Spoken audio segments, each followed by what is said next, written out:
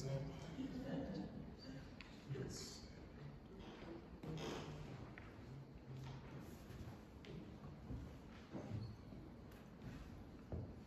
Uh, next up is one of two pieces that I chose, partially because uh, their composers were affected negatively by the Nazi regime. So these are German composers who were either um, interfered with, silenced, forced into exile, or uh, killed, as uh, some of you were.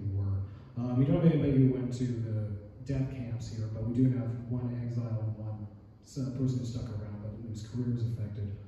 Um, the first one was uh, an exile. So this is uh, Jan Meyerowitz, who uh, immigrated to the United States uh, to have a sort of uh, okay career uh, because the U.S. wasn't always kind to its immigrant composers.